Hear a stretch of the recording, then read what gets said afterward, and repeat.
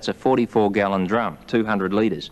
Let's imagine that your fairy godmother comes along to you and says, You may have that drum filled with any liquid you like from around the home, and then the value of that liquid will be converted to cash and you can have the cash. What liquid would you choose? Hmm. You might say, Well, mum and dad are always saying how expensive petrol is. It's around 50 cents a litre. Let's see what it would be worth if we had that drum filled with petrol. Petrol, 50 cents a litre. 200 litres, that'll give us about $100. Not bad. But I think you'd be better off choosing some other liquid from around the home because there are more expensive ones there. Ordinary soft drinks, for example. For a litre bottle, it'll cost you around about $1.10 these days. Let's think about that one. Soft drink, $1.10 for a litre. For a 44 gallon drum or 200 litres, $220, more than double the amount. That's more like it, isn't it? But wait a minute.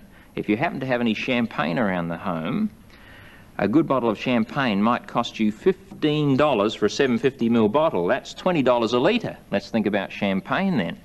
$20 a litre for a 44 gallon drum or 200 litres, it'll be 200 times 20, $4,000. Incredible, isn't it? But I think you may have more expensive liquids. Look in the backyard, look in the shed, look in the laundry, look in the kitchen. You may find a tube of glue. Now, if it happens to be this instant drying super glue, you'd probably find that a little tube like that costs around $3. How much does it contain? Two mils, two millilitres. One litre contains a thousand millilitres, and so you need 500 of these to give you a litre. 500 times $3, $150. The 44 gallon drum will need 200 lots of $150 or $30,000. I think if I were choosing, I might well choose superglue.